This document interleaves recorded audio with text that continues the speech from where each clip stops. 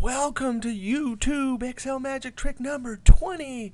Hey, if you want to follow along by downloading this workbook, click on my channel and then click on my college website and you can download this workbook with tricks 11 to 22.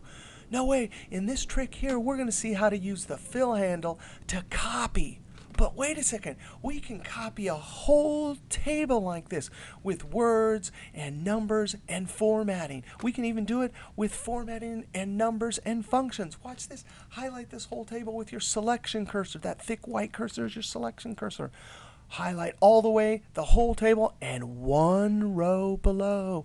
No way, that little fill handle in the corner, if we point to it, when we see our crosshair or angry rabbit, we click and drag. Drag down, drag down. No way, it created a bunch of little ledger accounts perfectly. All the same format. It even incremented the number larger. Wow, that's such a cool trick just with our fill handle and copy. Now let's see how it works over here. Here is January sales. There's some numbers and down here in the red if you hit F2 you can see the sum function or you can see it up here in the formula bar. If I highlight this whole range and one column to the right. There's that fill handle. I click and drag.